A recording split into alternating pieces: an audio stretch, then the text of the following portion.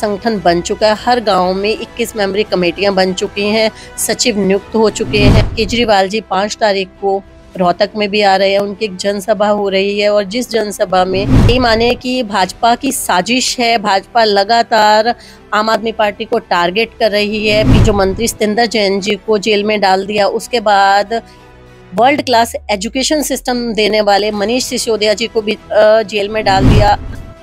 आम आदमी पार्टी की महिला प्रदेश अध्यक्ष डॉक्टर रजनीश जी हमारे साथ हैं और आज ये पहुँची हैं गोहाना में जो कह सकते हैं कि काजू फैक्ट्री सबसे सस्ते ड्राई फ्रूट के यहाँ पे और आप देख भी सकते हैं। बहुत बहुत स्वागत है मैडम। जी नमस्कार। और आपके दर्शकों को भी मेरा बहुत बहुत नमस्कार।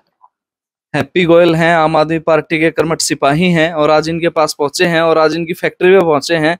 कितनी तरह के वैरायटी के काजू बादाम चख लिया देखिए, आज मैं, मेरी एक सोनीपत में जैसे आम आदमी पार्टी का प्रोग्राम था तो मैं यहाँ से होते हुए तो हैप्पी भाई के आमंत्रण पे इनकी फैक्ट्री का यहाँ दौरा करने के लिए पहुँची। जैसे अभी फेस्टिवल सीज़न भी आ रहा है तो यहाँ पे मैंने देखा कि बहुत बहुत ही वैरायटी के यहाँ पे ड्राई फ्रूट्स भी है और ड्राई फ्रूट्स के अलावा जो फ्रूट्स को भी ड्राई करके कोटेड तरीके से, बड़े अच्छे तरीके से बनाया गया। आप यहाँ पे देख सकते हैं, बहुत सारी वैरायटी तो यह मेरे सामने भी रखी है। मुझे यहाँ के सबसे अच्छी बात, एक चीज़ और लगी कि इन्होंने गरीब लोगों को एम्प्लॉयमेंट का बड़ा अच्छा तरीका दिया है। मैं देख रही थी कि उन वर्कर्स को यहाँ इस फैक्ट्री में काम नहीं करने आना पड़ता, उनको ये लोग होम अपने घर के लिए काम देते हैं, ताकि वो अपने घर को भी संभालते हुए जो महिलाएँ हैं, वो साथ साथ मतलब अपना रोज़गार भी जुटा सके। तो इसके लिए मैं इनको बहुत बहुत बधाई देती हूँ। और इनके ड्राई फ्रूट्स की क्वालिटी का तो कहना ही क्या कि वो तो बहुत ज़बरदस्त क्वालिटी है मेरा मतलब खाते खाते वो कहते हैं ना कि पेट भर गया लेकिन मन नहीं भरा। इतनी अच्छी बहुत सारी बहुत वैरायटी है इनके यहाँ। और सबसे अच्छी बात मुझे लगी जैसे मैं आम आदमी पार्टी के महिला प्रदेश अध्यक्ष हूँ तो इन्होंने महिला सशक्तिकरण के लिए बड़ा अच्छा काम कर रहे हैं महिलाएँ जो गरीब मजदूर महिलाएँ हैं वो बाहर नहीं जा सकती लेकिन इनके यहाँ से ये काम लेके अपने घर पे बैठ के अपने लिए पैसे अपने घर के लिए जुटा सकती है। ये तो थी ड्राई फ्रूट्स की बात। अब करते थोड़ी राजनीति की बात।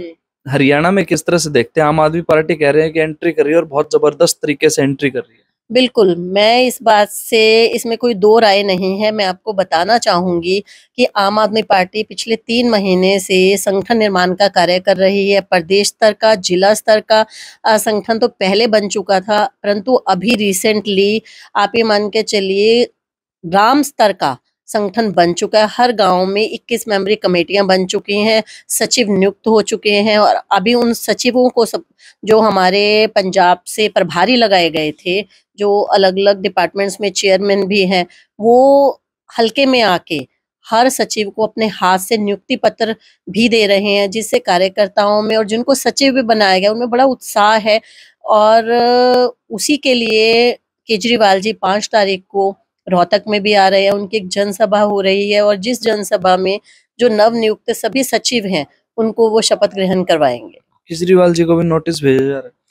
देखिए आप यही माने कि भाजपा की साजिश है भाजपा लगातार आम आदमी पार्टी को टारगेट कर रही है। पीछे आ, सबसे पहले इन्होंने वर्ल्ड क्लास हेल्थ सिस्टम देने वाले हमारे जो मंत्री सतेंद्र जैन जी को जेल में डाल दिया उसके बाद वर्ल्ड क्लास एजुकेशन सिस्टम देने वाले मनीष सिसोदिया जी को भी जेल में डाल दिया। अभी नाइजीरिया से भी इतना बड़ा डेलीगेट आया हुआ है। वो लोग भी दिल्ली के जो हॉस्पिटल और दिल्ली के जो स्कूल हैं देखना चाहते हैं तो इससे आप ये जान सकते हैं कि जिन्होंने एक स्वास्थ्य क्षेत्र में और शिक्षा के क्षेत्र में अच्छा मॉडल प्रस्तुत किया।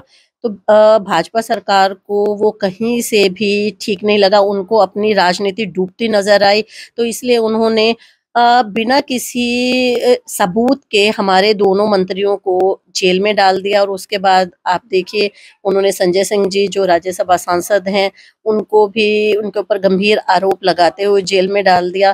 परंतु इतने लंबे समय से वो आरोपों को सिद्ध नहीं कर पाए हैं और ना ही उनको बेल दी जा रही है। तो इसी तरह अब उनका अगला टारगेट केजरीवाल जी हैं।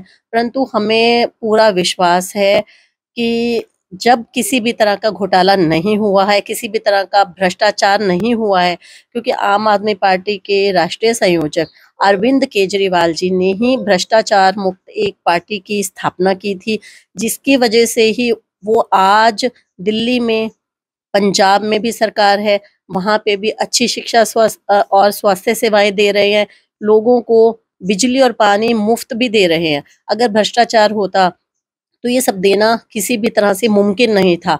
और हरियाणा में हम लोग इतना टैक्स देते हैं, उसके बावजूद भी आम जनता को एक थोड़े से पाँच किलो गेहूँ और थोड़े से राशन के अलावा कुछ भी नहीं दिया जाता।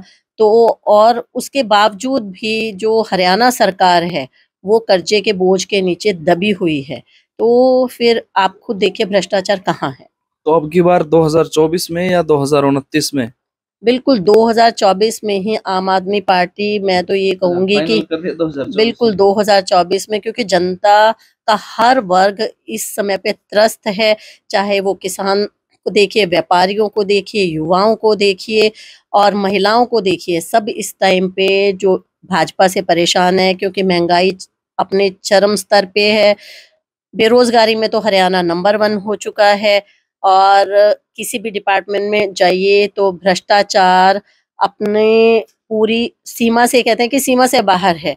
तो जनता ये सब देख रही है, जनता इस समय पे विकल्प ढूंढ रही है और आम आदमी पार्टी से अच्छा इस समय जनता के पास कोई विकल्प नहीं है। बिल्कुल, ये तो थे हमारे साथ डॉक्टर रजनीश जी, जिन्होंने बताया कि आम आदमी पार्टी दो नहीं 2024 में ही हरियाणा में अपना आगाज़ करेगी, अपनी सरकार बनाएगी और जिस तरह के आरोप नित नए दिन आम आदमी पार्टी के मंत्रियों पे, नेताओं पे लग रहे हैं, इससे साफ़ ज़ाहिर होता है कि बीजेपी में कितनी बौखलाहट है। किरण मीडिया के लिए, गोहाना से अरुण कुमार।